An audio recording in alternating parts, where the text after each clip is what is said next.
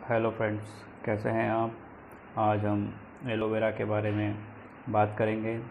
तो चलिए शुरू करते हैं वीडियो। एलोवेरा एक रसीला पौधा है और इसकी पत्तियों में पानी का भंडार होता है क्योंकि यह मरुस्थलीय इलाके क्षेत्रों में उगता है जहाँ पानी की कमी होती है। इस पौधे की पत्तियाँ दो भागों में होती हैं।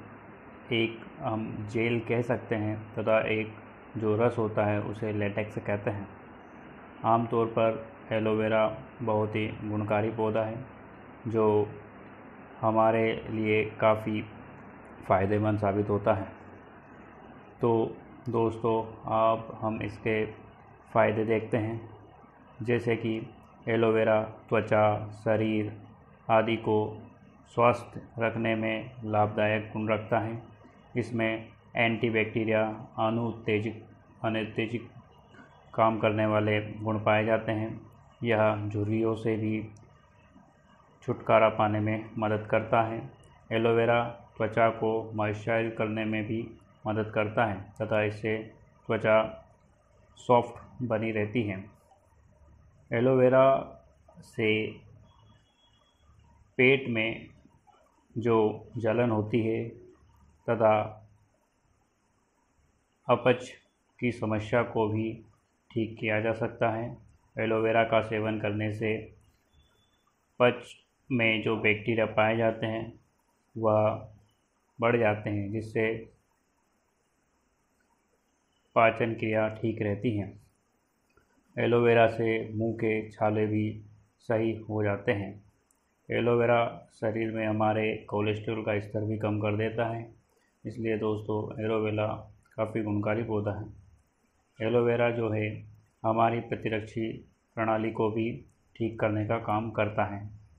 दोस्तों, एलोवेरा के सेवन से हम तनाव को भी दूर कर सकते हैं, क्योंकि आज की इस भाग दौड़ वाली ज़िंदगी में तनाव काफ़ी अधिक हो गया है, इसलिए एलोवेरा के सेवन से मानसिक तनाव भी कम होता है।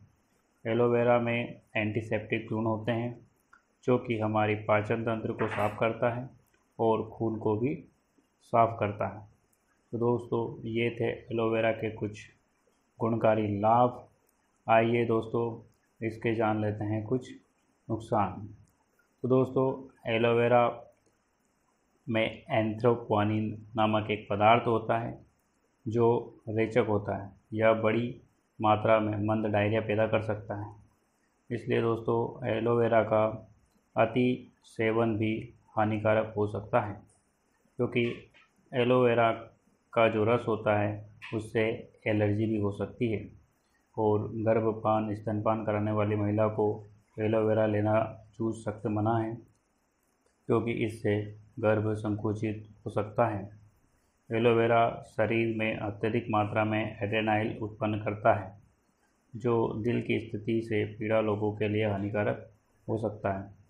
एलोवेरा के अधिक मात्रा में लेने से श्रोणी में रक्त का निर्माण हो सकता है, जिससे आपके गुर्दे को नुकसान होता है।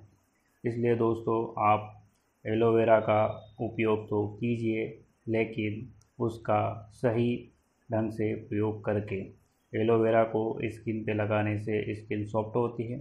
साथ ही साथ एलोवेरा हमारी शरीर के लिए भी काफ़ी लाभदायक है। इसलिए दोस्तों, अगर आपको यह वीडियो पसंद आया हो तो लाइक करें, शेयर करें, कमेंट करें और सब्सक्राइब करें। Thank you very much.